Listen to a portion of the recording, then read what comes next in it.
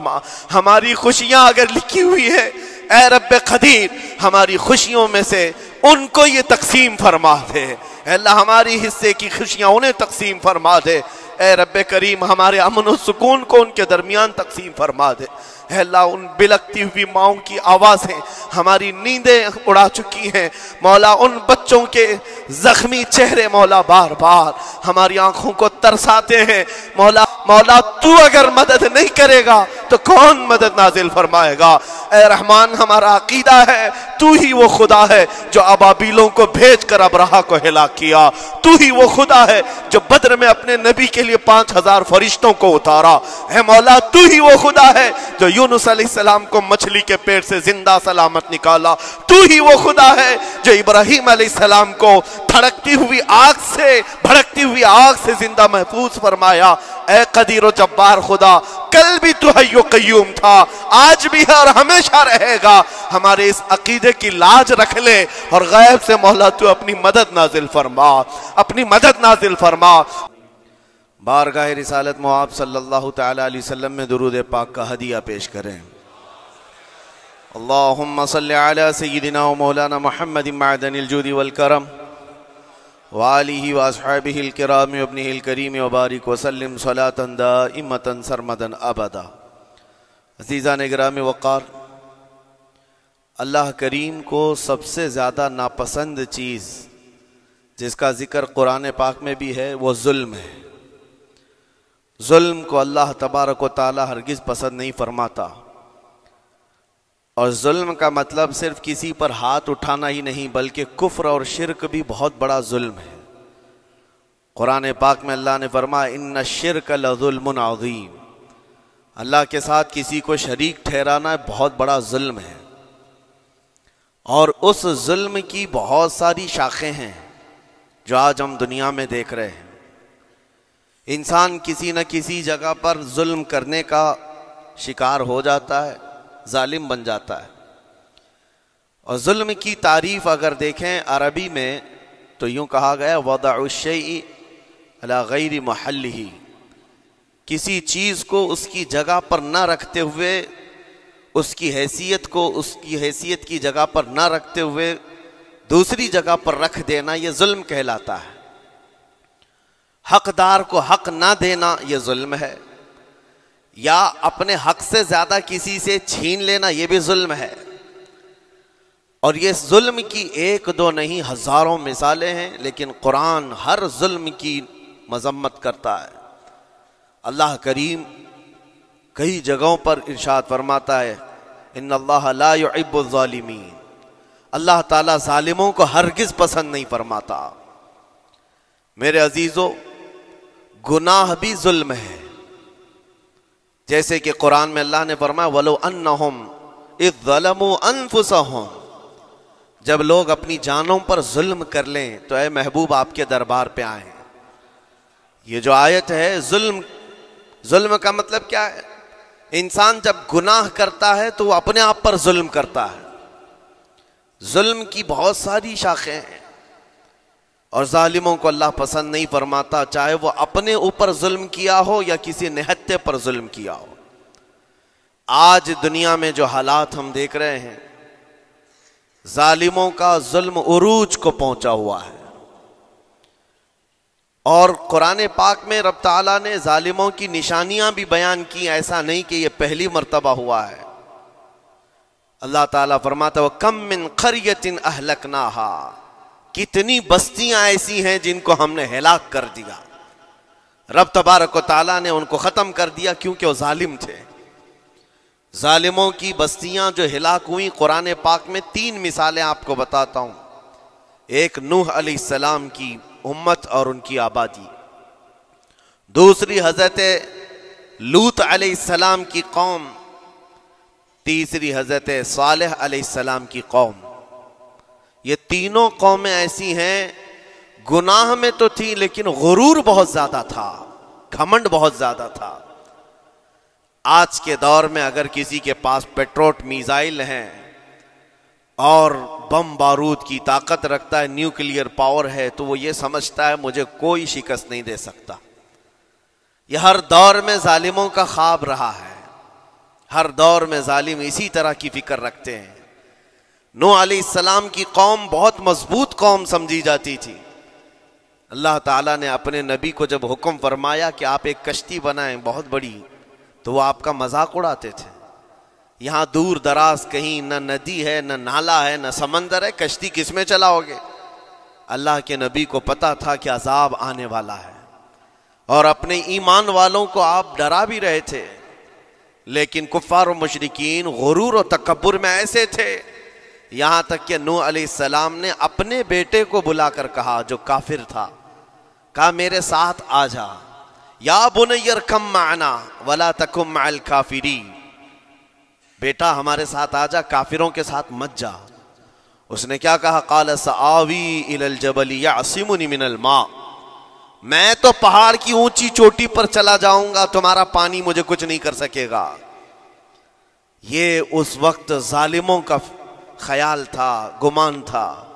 फिर अल्लाह ताला कुरान पाक में फरमाता है, वो फज्जरनल अर्द अयूना हमने जमीनों के सारे चश्मे फाड़ दिए। हर जगह से पानी के सोते निकले। और फिर आसमान के सारे दरवाजे खोल दिए। फतहना अबवा समा बिमा मुनहमिर। अल्लाह फरमाता आसमान के सारे दरवाजे पानी के खोल दिए।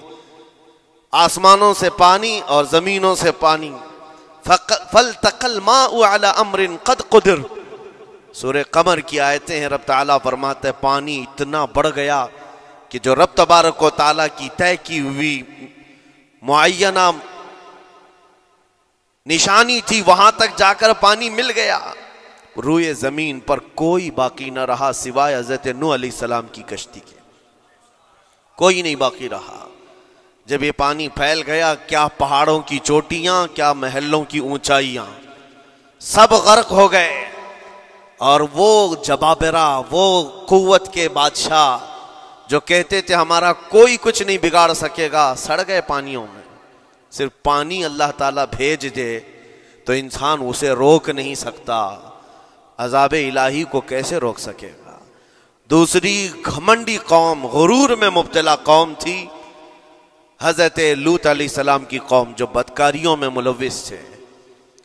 अल्लाह का जब अजाब आया तो कुरान पाक में रब ताला फरमाता है वामतरना अलीम हिजारतमिन सिजील नोकेले पत्थरों की हमने उन पर बारिश की। फजालना आलिया उनकी ऊंचाइयों को उठा करके नीचे पलट दिया गया। ज़मीन को फरिश्तों ने ऊपर तक उठाया और उसके बाद पलट दिया। ये पूरी बस्ती गर्क हो गई, खत्म हो गई। ये बस्ती भी वही थी जिसको हज़रत लूत सलाम बार बार तंबी करते थे कि जुल्म से बचो। जुल्म से बचो। जुल्म अल्लाह के अजाब को दावत देता है। लेकिन वो मज़ाक उड़ाते थे। और जब हिलाक व बर्बाद हो गए, खत्म हो गए, उनकी निशानियाँ भी बाकी नहीं रही। वो पत्थरों की बारिशें कहाँ हुई थी, वल्लाह आलम।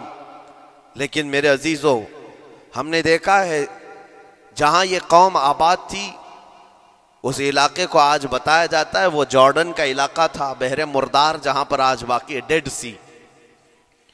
मैं खुद सफ़र पर देखा, जॉर्डन की एक सरजमीन पर। गाड़ी चलती जा रही है और काले काले पत्थर, जहाँ तक नज़र करो, सिर्फ़ पत्थर ही पत्थर हैं, बहुत नोकेले। ऐसे पत्थर मैंने दुनिया में दूसरी जगहों पर नहीं देखा। आज भी उसी तरह से बाकी तकरीबन 100 किलोमीटर, डेढ़ सौ किलोमीटर तक सिर्फ़ पत्थर ही है। बीच में सिर्फ़ एक रोड जाता है, उसके बाद ना कोई दरख्त दिखता है, ना कोई इमारत है, ना कोई पहाड़ है, सिर्फ़ पत्थर। पत्थरों का सहरा है। आज की इस सदी में देख करके उन पत्थरों को हैबत तारी हो जाती है। जिस वक्त वो बरसे होंगे, उनकी हालत क्या होगी? और मैं ये नहीं कहता बेजब्त कि ये वही पत्थर हैं जो बरसे थे, वल्लाह आलम। लेकिन मेरे अजीजों, निशानियाँ आज भी अजाब इलाही की मौजूद हैं। तीसरी कौम थी, कौम शुआब और कौम साल सलाम ये दोनों कौमों के बारे में ज़िक्र करता हूँ। हज़रत शुआब सलाम की कौम सिर्फ़ नाप तोल में कमी करती और कुफ्र शिरक भी करते। शुएब सलाम उनको रोकते तो वो उनका भी मज़ाक उड़ाते। और जब अजाब इलाही के आने की बात किया तो जानते हैं क्या कहा उन्होंने? ये वो कौम थी जो पत्थरों को तराश करके घर बना लेते थे। यानी पूरे के पूरे पहाड़ को, पत्थरों का जो पहाड़ होता है उसको तराशते थे। और एक आदमी का एक घर, एक पहाड़। आज के दौर में सारी बिल्डोजर मिल करके नहीं कर पाए। मशीनें मिलकर ना कर पाए। वो उस वक्त के लोग भारी भरकम थे, जसामत वाले थे, ताकत वाले थे। जब वो अपने रहने के लिए एक पहाड़ को तराश सकते थे, चार हज़ार साल पहले की बात कर रहा हूँ। उस वक्त मेरे ख्याल से वो अपने जमाने के सबसे बड़े मॉडर्न लोग या तरक्की याफ्ता लोग कहलाते होंगे। सबसे ज़्यादा तरक्की याफ्ता कहलाते होंगे। जैसे आज लोगों को लगता है रशिया और अमेरिका बहुत पहुँचे हुए हैं टेक्नोलॉजी में। उस दौर के वो लोग सबसे बड़ी ताकत के रखने वाले थे। जब हज़रत शुएब सलाम ने उनको अल्लाह के अजाब से डराया तो क्या कहते थे? अजाब? वही ना जो नू सलाम की कौम में आया था, बारिश आ गई थी, ज़मीन से पानी निकल गया था तो पानी बहुत हो गया था। या फिर वो जो लूत सलाम की कौम पर आया, पत्थरों की बारिश, या फिर हवाओं का अजाब, अगर ये तीनों भी आए, तब भी हमारे इन पहाड़ों के घरों को नुकसान नहीं कर सकेंगे। उनका इतना गुरूर था। अगर पानी भी आ जाए समंदरों का, या हवा भी तेज चले, या पत्थरों की बारिश हो, हम तो बहुत महफूज किलों में हैं। अंदाज़ा करो मेरे अजीजों, तीन हज़ार, चार हज़ार साल के बाद आज तक मदाइन साले और अल ओला सिटी नाम से सऊदी में मौजूद है। अभी तक वो घर मौजूद हैं तो उस जमाने में कितने मज़बूत रहे होंगे? पता नहीं, तीन हज़ार सालों में कितने तूफ़ान आए, कितने सैलाब आए, लेकिन अभी तक वो पहाड़ों के घर मौजूद हैं। तो उस जमाने में कितने ताकतवर होंगे? उनका नशा आसमान पर था। गुरूर। चढ़ करके बोल रहा था, कहते थे, कि अगर उस तरह के अजाबात आ भी गए तो हमारा कुछ नुकसान नहीं होगा। कौन सा? नो सलाम की कौम का अजाब आ जाए, लूत सलाम की कौम का अजाब आ जाए, या फिर शुएब सलाम की कौम का अजाब आ जाए। ये साले सलाम की कौम की बात कर रहा हूँ। तो फिर हुआ क्या? अल्लाह के नबियों ने उन्हें डराया, अल्लाह के अजाब से, बाज आ जाओ, अल्लाह वहदहुल्ला शरीक की तरफ़ झुक जाओ। वह अकड़ थी, गुरूर था कि नबियों का मज़ाक करते। फिर हुआ क्या कुरान कहता है, सिर्फ़ एक फरिश्ते को अल्लाह ताला ने ज़मीन पर उतारा। एक फरिश्ते को उतारा और उसके बाद उस फरिश्ते ने एक चिंगार लगाई, एक आवाज़ की।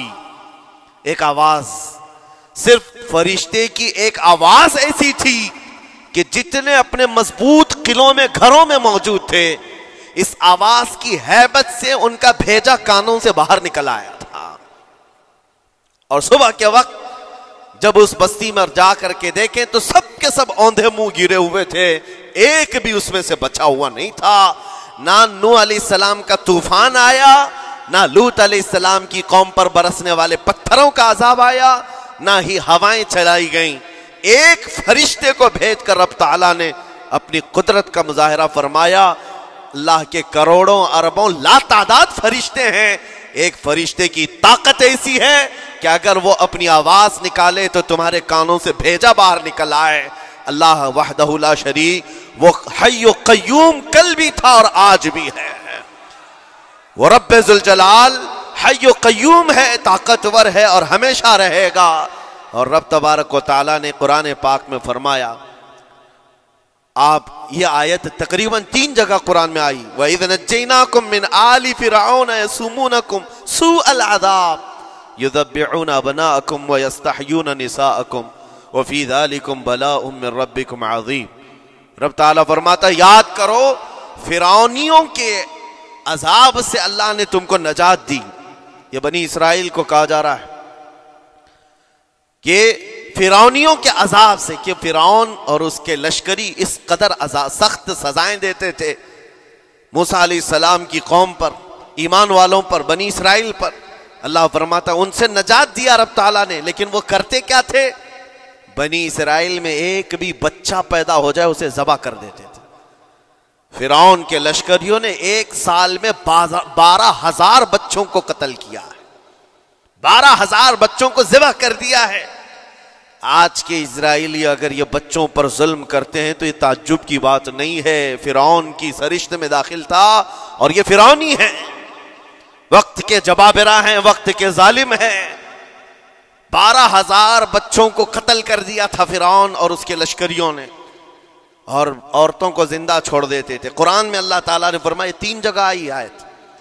लेकिन उसके साथ रब ताला ये भी फरमाता है ये सख्त तरीन सजाएँ देते थे फिरौनी, अल्लाह ने उनसे तुमको नजात दिया, लेकिन ये सजाएँ क्यों देते थे, ये अजाब क्यों था? वो फीदालिकुम बला उम ये है फरमान अल्लाह का। यहाँ मैं ये टुकड़ा अगर बयान कर दूँ तो आज आपके दिलों के अंदर एक यकीन पैदा हो जाएगा। आज के हालात के मुताबिक फिरौनियों का इस कदर सख्त अजाब क्यों था? रब ताला फरमाता है, ए मोमिनो इन तमाम मामलात में अल्लाह की तरफ़ से तुम्हारे लिए बड़ा इम्तिहान था। ये इम्तिहान था और वह इम्तिहान आज भी है। और हर जमाने में रहेगा। सतीजा कार रहा है अजल से ता इमरोज, शरारे बुलहबी से चराग मुस्तफ़वी। हर जमाने में हक व बातिल के मारे के होते रहेंगे। लिहाजा आज के दौर में ये सब हालात जो पैदा हुए, मुसलमानों को मोमिन को बरा, जरा बराबर भी नर्वस होने की ज़रूरत नहीं। तुम जिस दीन से वाबस्ता हो, इस दीन की हिफाजत का जिम्मा अल्लाह ने अपने जिम्मे लिया है। युरीदून नूर अल्लाह भी अफवाहिम कुरान में अल्लाह फरमाता है कुफार और मुशरकिन अपने मुँह के फूकों से अल्लाह के इस चिराग को बुझाना चाहते हैं। अल्लाह अपने इस चिराग को मुकम्मल करके रहेगा। ये इस्लाम नूर इलाही है। अल्लाह का नूर है और इसको सुबह क़यामत तक रहना है। और हम जैसे और भी आएँगे इस ज़मीन पर और आएँगे, जाते रहेंगे, ये आबादियाँ हैं, बदलती रहेंगी, खुदाई कानून है, लेकिन इस्लाम न कल बदला था ना आज, न कयामत तक बदलेगा। हम सबका इम्तिहान है मेरे अजीजों, हम सबका इम्तिहान है। लेकिन इन, इस, इन हालात में मोमिनीन को करना क्या चाहिए? उन्हें अपने ईमान को मज़बूत करना चाहिए। कभी किसी के उड़ते हुए छीचड़े और टुकड़े देखकर तुम्हें मायूस होने की ज़रूरत नहीं। अब हमारा मुस्तकबिल क्या होगा? हम, मेरे अज़ीज़ हो आज जो हालात हैं, ये हालात करबला से ज़्यादा सख्त तो नहीं हैं। आज फिलस्तीनियों को हमने देखा छह माह के, साल भर के बच्चों को सीने से लगाकर कफन लिपेट रहे हैं। उन बा, उन माओ की क्या कैफियत होती होगी? कभी कभार छोटी सी क्लिप में देख करके आँखों से आँसू बह पड़ते हैं। उन्होंने अपने हाथों से न जाने कितने बच्चों को एक दिन में दफन कर दिया। अस्सी अस्सी मैयतों को एक कबर में डाल दिया करते हैं। उन फिलस्तीनियों को लाखों सलाम उनके जज्बात को और उनकी इस्तकामत को हम तो दुआ यही करते हैं, उन फिलस्तीनी मुसलमानों के बराबर पूरी दुनिया के मुसलमान नहीं हो सकते। हम तो एक नाश्ते पर सबर नहीं कर पाते। वो अपने दस दस बच्चों और खानदान वालों के कटे हुए छिटड़ों पर भी कहते हैं, अल्लाह हमारे साथ सारी मुसीबतें देख करके भी वो कहते हैं, अल्लाह हमारे साथ है। उनके घर उड़ा दिए गए, तबाह कर दिए गए, राख में बदल दिए गए। और न्यूज़ ने, एंकर, ये दज्जाली मीडिया वहाँ जा जा करके उनके जख्मों को खुरेद करके पूछता है, तुम्हारा माल कैसे आएगा? तुम्हारा घर कैसे चला गया? लेकिन उन हालात में भी वो मुस्कुरा कर कहते अल्लाह ने दिया था, फिर अल्लाह है और अल्लाह देगा। उनके ईमान के बराबर हम नहीं हो सकते। लेकिन मेरे अजीजों, पूरी दुनिया के मुसलमानों में इस मसले ने आज एक इतिहाद की फिजा कायम की है। अगर हमारे दरमियान आज भी इतिहाद नहीं हो सकता तो फिर मेरे अजीजों, शायर ने सच कहा था, जगह जगह के थक चुके हैं तुम्हें यह हंगामे। नशाते, लज्जते, खाबे, गिराम बदल डालो। गलत रवि से मनाजिल का बौद्ध बढ़ता है। मुसाफिर, रवि से कारवां बदल डालो।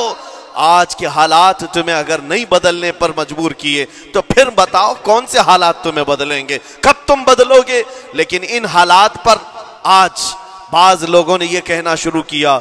मैंने चंद दिनों पहले एक आयत पढ़ी थी एक बयान में। कहा था, अल्लाह कुरान में फरमाता है हुदा हक कुल्ली। वो अल्लाह है जिसने हक दीन के साथ अपने रसूल को भेजा है और हिदायत के साथ अपने रसूल को भेजा है। क्यों भेजा है? युद्ध कुल्ली, ताकि वह रसूल पूरी दुनिया पर यह दीन गालिब करे। ये दीन गालिब आएगा। तो बाज मुझसे कहने लगे, मौलाना, स्टेज पर बैठकर चिल्लाते हो कई कुर्सियों पर बैठ कर कहते हो कि तुम्हारा दीन गालिब आएगा। तुम्हारा दीन तो आज टुकड़े टुकड़े किया जा रहा है। कोई कुछ नहीं कर पाता। उन जालिमों को मैं ये कहता हूँ उनको ये मैं कहता हूँ, इन तमाम हालात से तुम हरगिज ये मत समझना कि दीन गालिब आएगा। चाँद पर भी गहन लगता है, लेकिन जब गहन छटता है तो चाँद पूरे आबो ताप के साथ चमकता है। आज अगर उम्मत मुस्तफ़ा पर गहन लगा है तो मैं अपने अपने इन तमाम नौजवानों से जो अभी उन फवान शबाब में दाखिल हुए हैं, अभी अभी ये दुनिया को देखने के काबिल बने हैं, मैं उनसे कहता हूँ, इन आंधियों से, इन तूफानों से घबरा करके न तुम्हें दीन बदलने की ज़रूरत है, न तुम्हें अपना मसल को मज़हब बदलने की ज़रूरत है, बल्कि मैं ये कहता हूँ, न घबराओ मुसलमानों, अभी खुदा की शान बाकी है, अभी इस्लाम ज़िंदा है, कुरान बाकी है, ये जालिम काफिर क्या समझते हैं, जो रोज रोज हमसे उलझते हैं। अभी करबला का आखिरी मैदान बाकी है। अभी तो करबला का आखिरी मैदान बाकी है। अजीज़ा ने ग्राम वक़ार, मेरे नबी करीम सल्लल्लाहु अलैहि वसल्लम ने जो फरमाया, वो होकर रहेगा। वो होकर रहेगा। मेरे आका सल्लल्लाहु अलैहि वसल्लम का फरमान आलिशान मैं सुनाता हूँ। हुजूर फरमाते हैं, ला तजाल इसाबत मिन उम्मती, युकातिलून अला अबवाबी दिमश्क वमा हौलहा। वाला अबुआ भी बैतुलमक़दस ला यदुर्रहुम खुदलान मन खदलहुम ज़ाहिरीन अलल हक़ इला अन तक़ूम अस्साअ औ कमा क़ाल रसूलुल्लाह सल्लल्लाहु अलैहि वसल्लम मेरे आका फरमाते हैं, क़यामत तक मेरी उम्मत में से एक जमात ऐसी होगी जो बैतुल मुकद्दस के इर्द गिर्द हक के लिए लड़ रही होगी। हुजूर ने फरमाया, कयामत तक लड़ती रहेगी। लेकिन साथ में उनके लिए मेरे आका ने फरमाया, पूरी दुनिया के बुरा चाहने से उनका कुछ नहीं बिगड़ेगा। इसका मतलब क्या है? अगर आप हमसे पूछते हैं, कुछ नहीं बिगड़ेगा, हुजूर ने फरमाया, कुछ नहीं बिगड़ेगा। लेकिन हम तो देख रहे हैं, उनके घर तबाह हो गए, बच्चे मर गए। छोटे बच्चों के सरों से बाप का साया निकल गया। किसी के सामने उसकी माँ की तड़पती हुई लाश है और हदीस में कहा जा रहा है, उनका कुछ नहीं बिगड़ेगा। सब तो बिगड़ गया, माल भी गया, दुकान भी गई, तिजारत भी गया, घर भी गए, औलाद भी, रिश्तेदार भी, और हदीस में कहा जा रहा है, कुछ नहीं बिगड़ेगा। मेरे अजीजों, याद रखो, मेरे आका का फरमान हक है, कुछ नहीं बिगड़ेगा का मतलब क्या है? ये तमाम असबाब जाने का मतलब ये नहीं है कि बिगड़ गया, बिगड़ा तो उसका है जिसका ईमान बिगड़ गया। ईमान जिसका गया, उसका सब बिगड़ गया। और हमने उन बच्चों को देखा है आज। अरे, रात को सोते हैं तो उन्हें पता नहीं होता सुबह होगी भी कि नहीं होगी। लेकिन उसके बावजूद एक दिल दहला देने वाली बात मैं बताता हूँ। मिस्र की सरजमीन से लोग पानी के बोतलें और डब्बे उठा उठा करके बॉर्डर पर जा रहे हैं। लेकिन फिलिस्तीन गज़ा के वो मुसलमान कहते हैं, अपना पानी तुम रखो। अल्लाह करीम हमारे लिए कहीं से अपनी ही ज़मीन से पानी अता करेगा उनको लोग कह रहे हैं, क्या आप नहीं देख रहे वक्त का बड़ा फिरौन रोज अल्टीमेटम देता है 24 घंटे में इलाका खाली करो, निकल जाओ, घर खाली करो। कैसा ईमान है तुम्हारा? क्या आने वाली बड़ी बड़ी मिजाइलों का अपने सीने से मुकाबला करते और कहते हैं, कल से हम यही थे, आज भी यही हैं और यही रहेंगे और इसी मिट्टी में दफन हो जाएँगे। ये जो इस्तेकामत है इसी को मेरे आका ने फरमाया, दुनिया उनका कुछ नहीं बिगाड़ सकेगी। ईमान अगर मज़बूत है तो कुछ नहीं बिगड़ा है। अरे, छह साल की बच्ची, छह साल की बच्चियाँ, ट्रेंड चला हुआ है उनके मोहल्लों में। ट्रेंड चला हुआ है। अपने अपने हाथों में मेहंदी से अपना नाम लिख रही हैं, हँसी खुशी।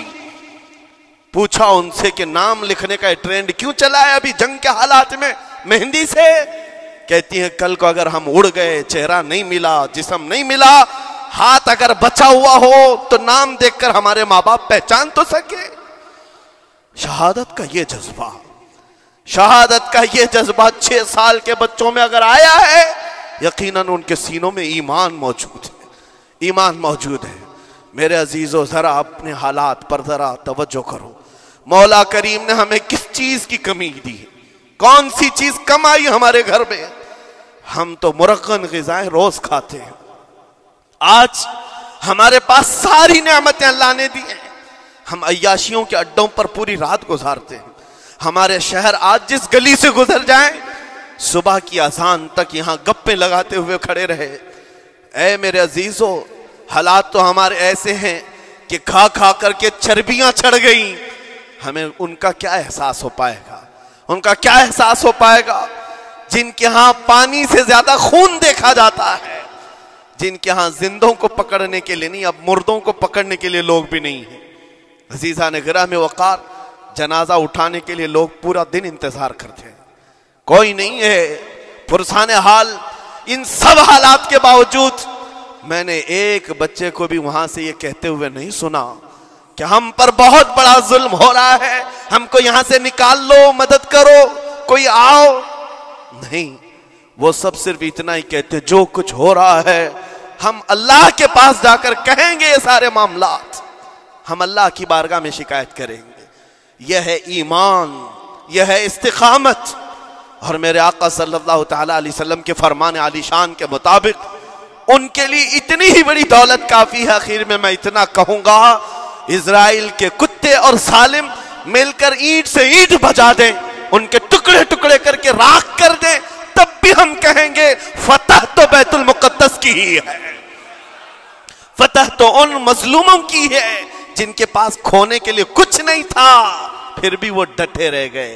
तुम्हारे पास तो पेट्रोल मिसाइल बड़े बड़े, तुम्हारे पास तोप, बहुत सारी चीज़ें होकर बच्चों पर, हॉस्पिटल पर न जाने कितनी जगहों पर तुमने बम्बारियाँ की हैं। मुझे हैरत होती है, पूरी दुनिया आज भी खामोश, तमाशाई है। ये जुल्म नहीं है तो और क्या है? और जब जुल्म अपने उरूज को पहुँचता है, अल्लाह की पकड़ आती है। अल्लाह का अजाब आता है। और जब अल्लाह का अजाब आता है तो जितने खामोश, तमाइश, तमाशाई थे, सब उस अजाब में गिरफ़्तार होंगे। इसलिए मेरे अजीजों आप हमसे अगर ये पूछते हैं, हमें यहाँ बैठकर करना क्या चाहिए?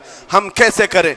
तुम्हारा दिल अगर रो पड़ा उनके दर्दों से, ये भी लिखा जाएगा। ये भी लिखा जाएगा, ये बंदा जा तो नहीं सकता था, लेकिन अपने भाई के दर्द में ऐसा बेकरार था कि इसका खाना छूट गया था। ऐसा बेकरार था कि इसकी नींदें खत्म हो गई थी। ये भी लिखा जाएगा अल्लाह की बारगाह में। लेकिन यहाँ बैठ करके हम अयाशियों पर अयाशा करें, अपने गुनाहों से कभी बाज ना आए तो फिर मेरे अज़ीज़ हो उन निहत्य मजलूमों के हम बहुत खतरनाक किस्म के दुश्मन कहलाएँगे। जहाँ उनको पानी का एक कतरा नहीं, जहाँ उनके लिए लुकमा नहीं, वो किसी का बचा हुआ कचरा खाने पर मजबूर है। उस वक्त हमारी बर्तने खानों से भरी हुई हैं, हमारी दावतों में हमारे बचे हुए खाने गटर और नालियों में बह रहे हो। इन हालात में मेरे अजीजों, पकड़ होगी हमारी भी, पकड़ होगी। बदलो अपने हालात, उठो वो करना हश्र, न होगा फिर कभी। दौड़ो के जमाना चाल अपनी चल गया। मैं आप सबसे यही कहना चाहूँगा, ये जो हालात पैदा हुए हैं पूरी दुनिया में, ये मेरे आका के फरमान के मुताबिक अंदेशा ये लग रहा है, अन करीब इमाम मेहदी का जहूर होने वाला है। इमाम मेहदी का जहूर होगा और हालात बदल जाएँगे, लेकिन हमको किसी के आने का इंतज़ार करते हुए हालात का इंतज़ार नहीं करना है। अभी बदलो, आज बदलो। अल्लाह की तरफ़ दौड़ो और उससे गिड़गिड़ा कर कहो कि, मौला करीम, हमारे शामत अमाल, हमारी बुराइयों के सबब अगर ये तेरी पकड़ है, हम तोबा करते हैं तेरे दरबार में। जानते हो मेरे आका ने फरमाया, अल्लाह के गजब को अगर कोई चीज़ ठंडी करती है तो एक मोमिन सालेह की रिक्कत अंगेज दुआएँ और उसके निकलने वाले आँसू अल्लाह के गजब को ठंडा करते हैं। अल्लाह के गजब को ठंडा करते हैं।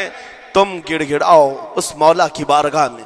ये नहीं कि इज्तमाही तौर पर किसी के सामने आप रो धोकर चले गए, या फिर आप लोगों को दिखाने के लिए कोई स्टेटमेंट जारी कर दिए। नहीं, तन्हाई में बैठे हो, अकेले में बैठे हो, जैसे कि कल एक बहुत अच्छी चीज़ मैंने देखी थी, हमारे ओलमा ने ऐलान किया था, पूरी दुनिया मिल करके जुमेरात का रोजा रखे, इसलिए कि रोजा अल्लाह को पसंद है, और इफ्तार से पहले अगर कोई दुआ करे, अव्वल दुआ हमारी उन मजलूमों के हक में हो, उन जालिमों के खिलाफ हो, मजलूमों की मदद के लिए हो, यकीनन अल्लाह की मदद आएगी, और आएगी क्योंकि कुरान बार बार कहता है, अला इन नसर अल्लाह करीब आगाह हो जाओ, बेशक अल्लाह की मदद बहुत करीब है। अल्लाह की मदद बहुत करीब है। अजीज़ा ने ग्राम वक़ार, मैं इन्हीं तमाम बातों से अपनी गुफ्तु को आज समेटता हूँ। आज के इन हालात में आपकी ज़िम्मेदारी है अपने ईमान पर मजबूती से जमे रहो। इस्तकामत, बाज लोगों को आज ये लगता होगा कि वहाँ हालात बिगड़े हैं तो ये मुसलमान क्या करेंगे? क्या करेंगे? हम क्या करने वाले वैसे ही हम खत्म किए जा चुके हैं, टुकड़े किए जा चुके हैं। हम कुछ करने बस तुम अपनी जिंदगियाँ बदलो। नशा से बाज आ जाओ। और जितने खुराफात हमारे मोहल्लों में आए, इससे निकालो। अल्लाह का अजाब आता है, अल्लाह की रहमतें रूट जाती हैं। एक बार हम बदल लिए तो मौला करीम अपनी रहमतों के साहिबान फरमा देगा हम पर। और बस हम, हमारी तमन्ना यही है। अल्लाह करीम की बारगाह में दुआ है। कदीर जब्बार खुदा कहने सुनने से ज़्यादा हमें अमल की तोफ़ी अता फरमा। है रब करीम हसन अल खालिकीन, हम सब अपने गुनाहों से सच्ची तोबा करते हैं। मौला हमारे गुनाहों की वजह से अगर तेरा ये सख्त तेरी सख्त पकड़ है तो मौला तू अपने गजब को ठंडा फरमा दे। तो अपने गजब को ठंडा फरमा दे। मौला तू अपने गजब को ठंडा फरमा दे। ए करीम खुदा, तेरे हबीब की उम्मत तड़प रही है। और हर जगह मौला जुल्म सितम का निशाना उन गरीब मजलूमों को बनाया जा रहा है, जिनके पास एक वक्त का खाना भी बाकी नहीं रहा। मौला तू अगर मदद नहीं करेगा तो कौन मदद नाजिल फरमाएगा? ए रहमान, हमारा अकीदा है, तू ही वो खुदा है जो अबाबीलों को भेज कर अबराहा को हिला किया। तू ही वो खुदा है जो बद्र में अपने नबी के लिए पाँच हज़ार फरिश्तों को उतारा। है मौला, तू ही वो खुदा है जो यूनुस सलाम को मछली के पेट से ज़िंदा सलामत निकाला। तू ही वो खुदा है जो इब्राहिम सलाम को भड़कती हुई आग से, भड़कती हुई आग से ज़िंदा महफूज फरमाया, ए कदीर जब्बार खुदा, कल भी तू हयो कयूम था, आज भी है और हमेशा रहेगा। हमारे इस अकीदे की लाज रख ले और गैब से मौला तू अपनी मदद नाजिल फरमा, अपनी मदद नाजिल फरमा, उम्मत मुस्तफ़ा के लिए खैर फरमा। हम सबको अमन अमान अता फरमा। ए रब करीम, उन जालिमों को कैफर किरदार तक पहुँचा दे। मजलूमों को मोहला अमन की सांस अता फरमा। हमारी खुशियाँ अगर लिखी हुई है, ए रब खदीर, हमारी खुशियों में से उनको ये तकसीम फरमा दे। अल्लाह, हमारी हिस्से की खुशियाँ उन्हें तकसीम फरमा दे। ए रब करीम, हमारे अमन सुकून को उनके दरमियान तकसीम फरमा दे। अल्लाह उन बिलकती हुई माओ की आवाज़ें हमारी नींदें उड़ा चुकी हैं। मौला, उन बच्चों के जख्मी चेहरे मौला बार बार हमारी आँखों को तरसाते हैं। मौला, कब तक ये तेरी आजमाइश होगी? कब तक ये इम्तिहान होगा? ए कदीर जब्बार खुदा, तुझे, तेरे हबीब की नालहन का वास्ता उन सबको जुल्म सितम से आज़ाद फरमा दे। अल्लाह जुल्म सितम से आज़ाद फरमा, अमन अमान अता फरमा, खैर सलामती अता फरमा। हमारे इस मुल्क अज़ीज़ हिंदुस्तान को अमन अमान का गहवारा बना दे। अल्लाह, हम सबको मोहब्बत व आश्ती का पैगाम और उल्फत व मोहब्बत के साथ जीने की तोफ़ी कता फरमा। मौला, हमारी दुआओं को हजूर के सदक़े कबूल फरमा। वसल्ला खैर खल्क़ी महमद वाली वसहाबी अजमाइन। व आखिर दावाना